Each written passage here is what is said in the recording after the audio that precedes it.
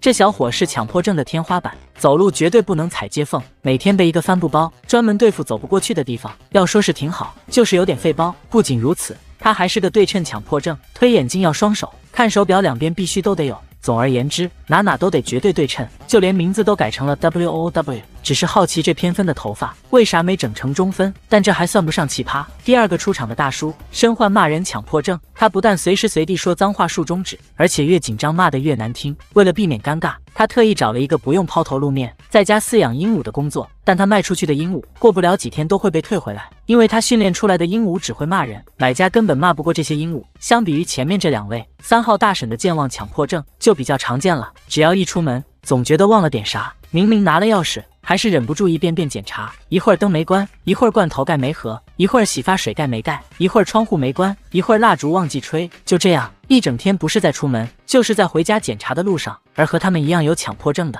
这屋里面还有好几个。四号大漂亮是个洁癖强迫症，她不仅走哪擦哪，每天还要洗上千次手，包里随身携带洗漱用品，要是不小心在外面碰到了脸，那就必须马上清洗，碰到哪里洗哪里，绝不含糊。经过精密计算，骂人大叔一天要咒骂一千三百六十八次，一年骂四十九万九千三百二十次。而大漂亮如果洗一次手需要六百毫升水，一年下来就要用掉二百一十九吨水。而这些数据都是五号柱子算出来的。他患有计算强迫症，只要看到数字，他就会不自主的去计算，速度还他喵的贼拉快。只要眼珠子一打转，瞬间算出精准答案。六号是患重复强迫症的小美，她会不由自主的重复自己说的话。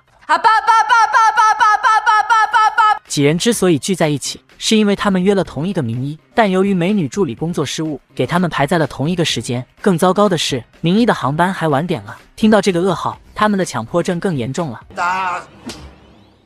这个小屋里关了六个强迫症患者，他们分别是对称强迫症大壮、骂人强迫症彪叔、健忘强迫症李婶、洁癖强迫症大漂亮、计算强迫症柱子和重复强迫症小美。由于医生航班延误，护士小姐提议大家先交流一下，结果场面一度失控。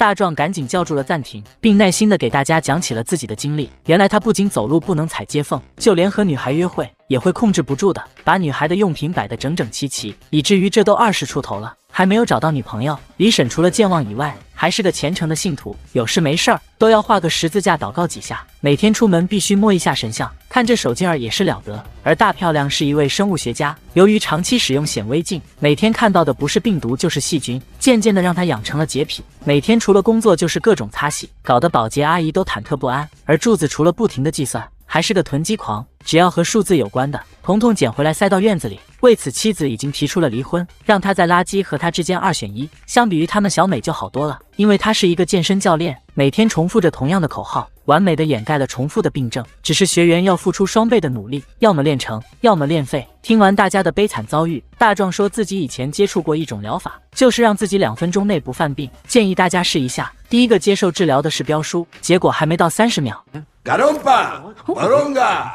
第二位是李婶，他们让李婶两分钟内不画十字架、不找钥匙，还给她加大了难度，轮流问她钥匙带没带，门锁没锁好，窗户关了吗？蜡烛熄灭了吗？真是杀人诛心，差点没把李婶抽抽过去。好在最后找到了，保住了李婶的老命。这是八百人坐过的马桶，只要大漂亮摸一下。没准能治好多年的洁癖强迫症，可扭捏半天他还是下不去手。关键时刻，柱子挺身而出，直接把他的双手摁在洗手台上，一顿胡乱摩擦，潮湿粘稠的触感让大漂亮直接崩溃，然后赶紧跑去清洗。紧接着是小美。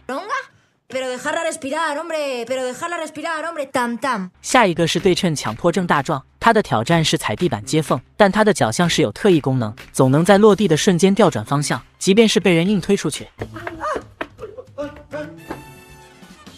妈的他也能完美避开。没办法，那只能蒙住眼睛了。别说踩上，还真没事儿。可摘下眼罩的一瞬间，又失败了。所有人都寄希望于大壮身上，大家排着队轮流给他出题。